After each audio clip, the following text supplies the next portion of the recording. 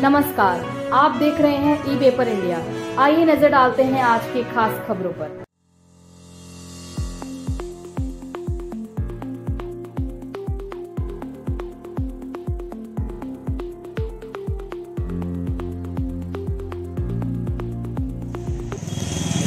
मेरा नाम आशा मालवी है, मैं मध्य प्रदेश के राजगढ़ डिस्ट्रिक्ट से हूँ।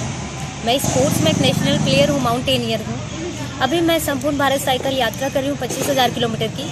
और यहाँ मैंने भोपाल से एक नवंबर को शुरू की है। अभी मैं रांची के झारखंड के जमशेदपुर में हूँ और जमशेदपुर मेरा बारवा राज्य है। अभी तक मैं दस हज़ार पाँच सौ किलोमीटर का यात्रा कंप्लीट कर चुकी हूँ और ग्यारह राज्यों का यात्रा कंप्लीट करके बारहवें राज्य में झारखंड में हूँ। मेरा यात्रा का उद्देश्य महिला सुरक्षा, महिला सशक्तिकरण। कि आज हमारे देश के लिए अदर कंट्री में भी मैसेज है कि India is a not safe country specially women but मेरा मैसेज ये है कि हमारा भारत देश बहुत सुरक्षित देश है और यहाँ महिलाओं की सुरक्षा का प्रॉपर ध्यान रखा जाता है। साथ ही मेरे भारत देश के महिलाओं के लिए भी मेरा मैसेज है कि जिस तरह मैं अकेले भारत भ्रमण कर सकती हूँ, बिना डरे, निडर होके, उसी तरह आप भी हर जगह सुरक्षित है। सिर्फ़ आज की टाइम में ज़रूरत है तो कॉन्फिडेंस की, कि हमें खुद भी कॉन्फिडेंस खुद में कॉन्फिडेंस होना बहुत आवश्यकता है।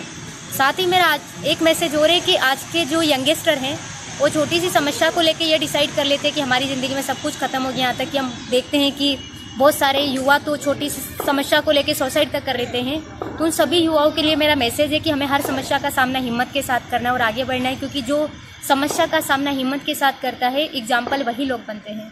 तो आज के यंगस्टर के लिए मेरा ये मैसेज है कि हमें हर समस्या का सामना हिम्मत के साथ करना है क्योंकि हमारी हिम्मत से बड़ी हमारी समस्या नहीं फिर भी हम हार जाते हैं।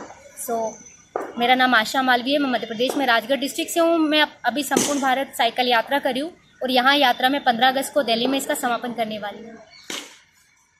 ई पेपर इंडिया में आज के लिए बस इतना ही। कल हम फिर हाजिर होंगे नई खबरों के साथ। तब तक के लिए देखते रहिए ई पेपर इंडिया